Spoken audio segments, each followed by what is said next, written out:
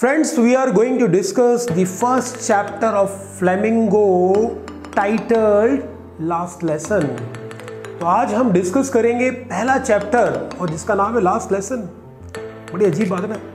Very strange कि chapter है first but this is the last the title is last lesson तो दोस्तों इस चैप्टर में व्हाट आर द हाइलाइट्स इस चैप्टर के हाइलाइट्स ये हैं कि इस चैप्टर में बात की गई है लैंग्वेज की importance of language the affection towards your language की लैंग्वेज के प्रति टूवर्ड्स योर लैंग्वेज आपका प्यार, आपका अफेक्शन कितना है? और इस चैप्टर में एक teacher a teacher M Hamel इनका लव अफेक्शन अपनी लैंग्वेज के प्रति 40 इयर्स इन्होंने लैंग्वेज के लिए दिए हैं। और एक बच्चा फ्रेंच फ्रेंच एक माध्यम था, एक मीडियम था वॉज़ अ मीडियम इस चैप्टर को बताने के लिए एक लैंग्वेज के प्रति टूवर्ड्स द लैंग्वेज आपका लव तो चलिए, आपकी स्क्रीन पर अभी पॉइंट्स डिस्प्ले हो रहे हैं और उन्हीं पॉइंट्स को हम डिस्कस करते हैं। द लास्ट लेसन लेकिन है ये फ़र्स्ट लेसन ऑफ़ फ्लेमिंगो चलिए डिस्कस करते हैं।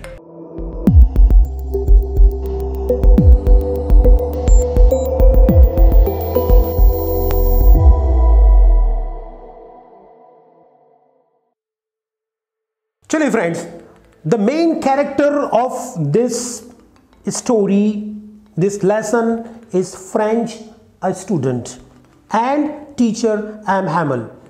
Let's discuss the important point. The first point, French was afraid to go to school as he did not know anything about participles homework given by the teacher French बहुत डर रहा था। यार, डर रहा था कि स्कूल नहीं जाना है क्योंकि उसे कुछ भी नहीं आता था।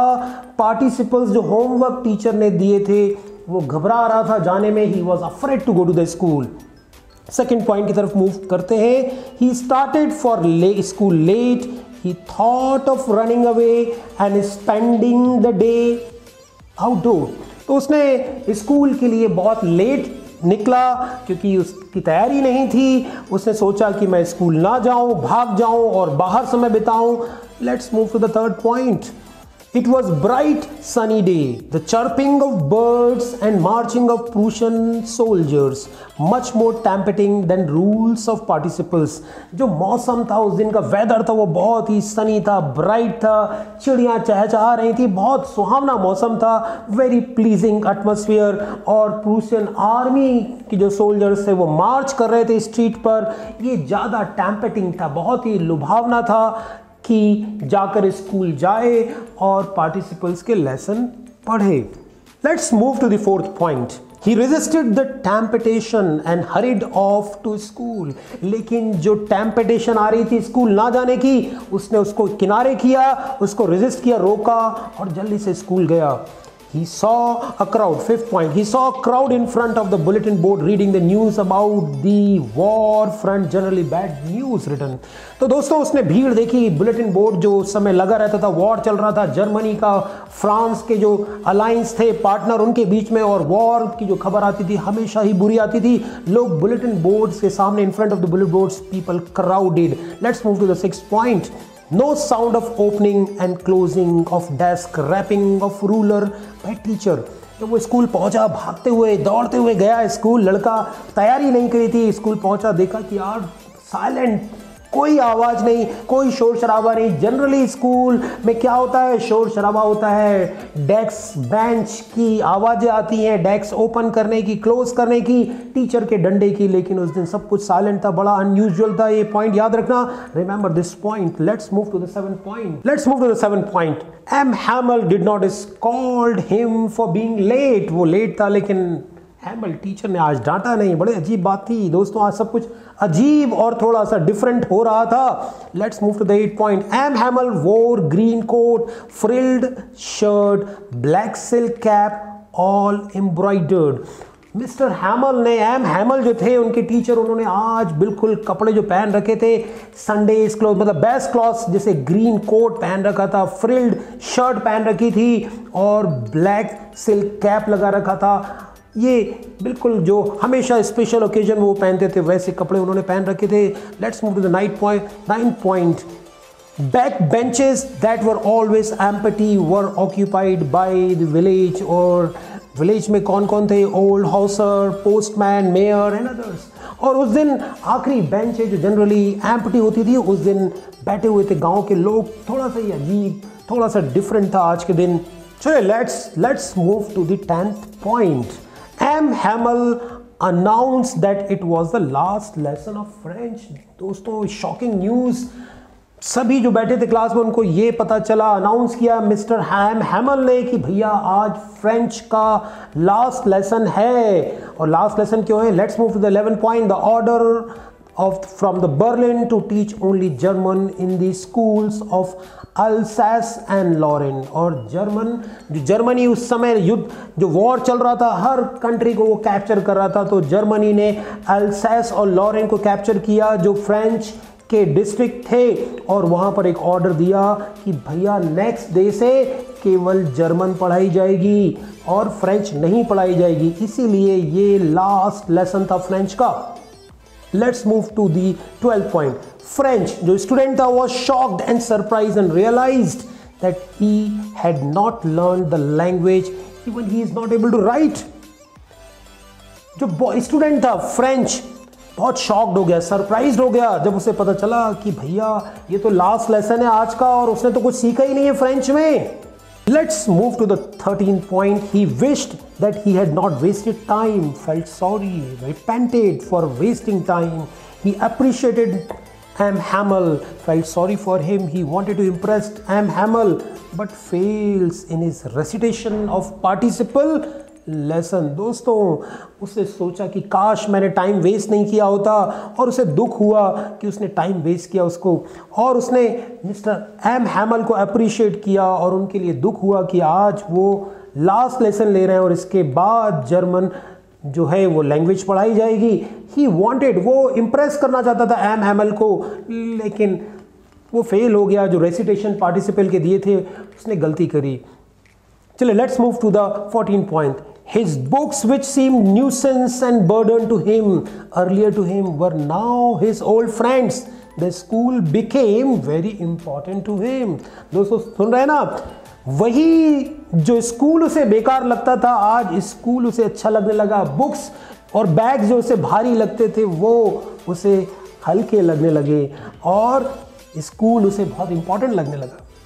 चलिए let's move to the fifteen point M Hamel says that French language is the most beautiful language in the world the clear the most logical we must guard it among us and never forget it M Hamel बोलते हैं कि French language क्योंकि देखिए, हर इंसान को अपनी language से प्यार एवरीबडी लव्स हिज लैंग्वेज तो उन्होंने भी अपनी लैंग्वेज के प्रति फ्रेंच लैंग्वेज के प्रति अपना लव अफेक्शन दिखाया और कहा कि French language is the most beautiful language clear language and most logical language और हमें रक्षा करनी चाहिए we should guard it amongst us and never हमें कभी नहीं भूलना चाहिए. तो let's move to the sixteen point everyone was working quietly and sitting quietly because they were shocked Let's move to the 17 point. Only the noise of pen scratching over the paper was coming. Only केवल pen के चलने की आवाज़ आ रही थी, बाकी सब कुछ साइलेंट था। He was repenting for not attending the school he मतलब फ्रेंच जो बच्चा था, वो बहुत ही रिपेंट कर रहा था कि उसने स्कूल अटेंड नहीं करा because he was reluctant to learn and postpone learning क्योंकि वो हमेशा लर्निंग से बचता था। अनविलिंगनेस इच्छा नहीं दिखाता था सीखने की और हमेशा लर्निंग को पोस्टपोन करता था। चलिए नाइनटीन पॉइंट पे बढ़ते हैं। Let's move to the nineteen point M Hamel blamed people of Alsace for not learning French he blamed the parents for sending them to work in fields and mills and M Hamel blame himself for sending student to water the plant and declaring a holiday whenever he wanted to go fishing and he blamed everybody for the situation तो M Hamel ने लोगों को जो अल्साइस के लोग हैं, उनको blame किया कि फ्रेंच ना सीखने के लिए। उन्होंने, उसने, उन्होंने पेरेंट्स को भी ब्लेम किया, क्योंकि पेरेंट्स ने बच्चों को पढ़ने के बजाय उनको भेजा फ़ील्ड में काम करने के लिए मिल्स में काम करने के लिए। और एम हैमल ने अपने आप को भी ब्लेम किया कि जब पढ़ाई के समय उन्होंने बच्चों को कई बार पानी, पौधों में पानी प्लांट्स को वाटर कर डालने के लिए भेज दिया, या जब उन्हें फिशिंग का मूड हुआ तो उन्होंने हॉलीडे डिक्लेयर कर दिया। तो उन्होंने इस सिचुएशन के लिए सभी को ब्लेम किया, जो आज सिचुएशन है, आज लास्ट लेसन है, लेकिन फिर भी हम जो बच्चे हैं, या लोग हैं, वो फ्रेंच लैंग्वेज में ज़्यादा एक्सपर्ट नहीं है। चलिए मूव करते हैं ट्वेंटी पॉइंट नाउ लास्ट में उन्होंने he wrote on the board, he was choked, he was very emotional. Vive la france!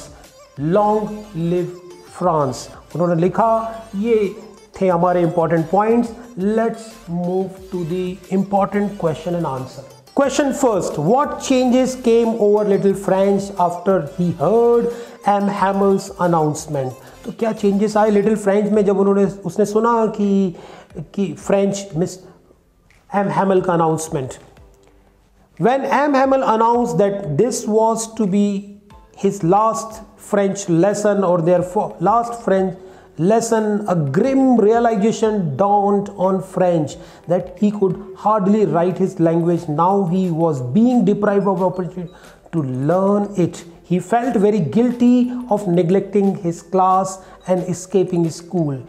The thought of losing his teacher M Hamel also pained him तो उस French को बहुत ही surprise और shocked लगा और उस अचानक एक रियलाइजेशन हुआ उसके कि आया कि भैया, मैं तो लिख नहीं पा रहा हूँ, अभी मैं रीड नहीं कर पा रहा हूँ। और जो अपॉर्चुनिटी थी सीखने की, वो तो चली गई। उसने अपने आप को गिल्टी महसूस किया जो उसने क्लासेस को निगलेक्ट किया और स्कूल से भाग जाता था। The thought of losing teacher ये भी उसको पेन किया। Question number two what was French expected to be prepared for the school that day क्या प्रिपेयर करना था उसको?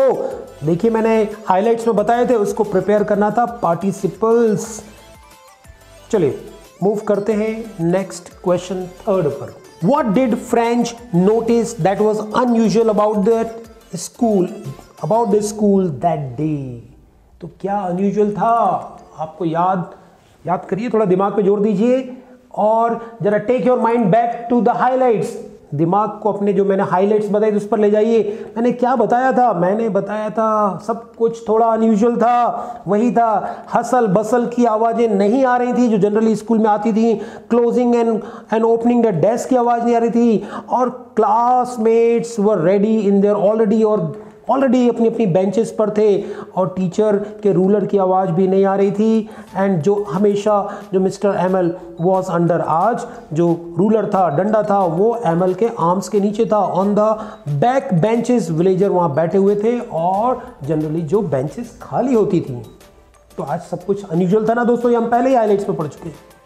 Question fourth what had been put up on the bulletin board For the last two years, all the bad news had come from the bulletin board. An order had come from Berlin that day, from the next day, German would be taught. So German पढ़ाई जाएगी next day से let's move to the next question. Why were the elders of the village sitting in the classroom? I think आप सभी को you all know the answer why they were sitting. They were sitting to give the fair well or to bid adieu to the teacher who taught 40 years to express their gratitude. Let's move to the next question. Who did M. Hamel blame for neglecting of learning on the part of boys like French? Blame किसको किया Neglect करने के लिए learning. M. Hamel blamed the children as well as their parents were neglecting of their learning the children thought that they would learn anytime and the parents also put them to work in field and he blamed himself for sending children to water the plants of his garden so he blamed everybody हमने highlights में भी पढ़ा था Okay, with this we come to an end of the last question of this chapter, last lesson. The question is, our native language is a part of our culture and we are proud of it. How does the presence of village elders in the classroom and M. Hamel's last lesson show their love for French? Answer. Let's see the answer. Acquiring power over the French made the Prussian so dominating that they decided to impose even their language on them. So, on the day of the last French lesson, the village elders were seated on the back seats of the classroom. They felt sad and sorry for not having gone to school more often. Their presence was also their way of thanking their master M. Hamel for his 40 years of faithful service. M. Hamel himself had put on his Sunday's Sunday clothes in the honor of the last lesson. Assuming the role of mentor, he advised the people to safeguard and preserve their language among themselves and never forget it. He called French the most beautiful and logical language in the world. By the end of the class, M. Hamel was so choked with emotion that he could not speak. So he took a piece of chalk and wrote on the blackboard, Viva la France. Long live France means, and then dismissed the class. Friends question है. Native language जो हमारी भाषा है मातृभाषा जहाँ हम पैदा हुए हैं वो हमारी कल्चर का पार्ट है और हमें प्राउड फील करना चाहिए. तो किस तरह विलेजर्स की प्रेजेंस जो क्लासरूम में लास्ट लेसन में उनका लव दिखाता है फ्रेंच लैंग्वेज की तरफ़? तो देखिए अक्वायरिंग पावर जो फ्रांस के ऊपर जो कैप्चर किया था प्रूसियन ने, वो so dominating that they decided to impose इतने डोमिनेटिंग थी कि उन्होंने अपनी लैंग्वेज भी उन पर थोप दी.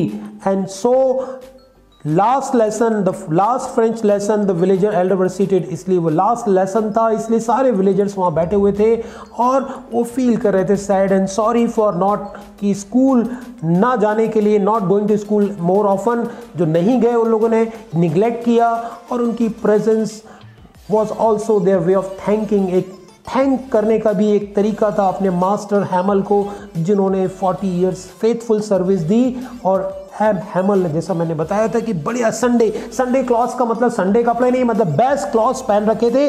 फ्रेंच लेसन को सम्मान देने के लिए to honour assuming the role of the mentor और जो मेंटर मतलब एक गाइड गाइड का जो उन्होंने रोल अदा करते हुए उन्होंने लोगों को एडवाइस किया कि अपनी लैंग्वेज को सेफ़ गार्ड करो प्रिजर्व करो और इसको कभी मत भूलो।